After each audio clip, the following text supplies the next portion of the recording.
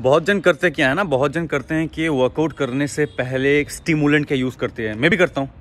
Black coffee ले लेता हूँ प्री वर्कआउट ले लेता हूँ। लेकिन ये इससे क्या होता है कि आप और भी ज़्यादा एनर्जेटिक फील करते हो। आपका वर्कआउट निकल जाता है, आप सेंट्रल नर्वस सिस्टम को भी बूस्ट करता है स्टिमुलेट करता है, आप फोकस रहते हो इसके वजह से। अच्छा ये चीज़।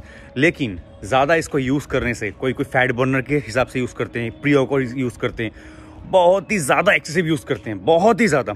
अभी तो मार्केट में एम्प आ गया है, कोई एम्प भी यूज़ करता है, इस तरह करना नहीं चाहिए। तो ये जब एक्सेसिस लेवल पे बढ़ जाता है ना, बहुत ही ज़्यादा आप ले रहे हो तो ये क्या करता है बॉडी में कॉर्टिसोल को ज़्यादा पैदा करता है। एड्रेनल को इन्फॉर्म करता है, तू और भी ज़्यादा कॉर्टिसोल को रिलीज़ कर। और कॉर्टिसोल रिलीज़ अगर ज़्यादा हो जाए तो आपका विजरल फैट गेन होता है।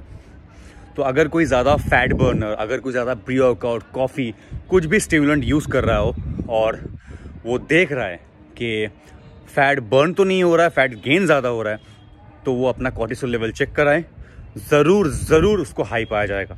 तो आपको वो स्टिमुलेंट कम यूज़ करने हैं।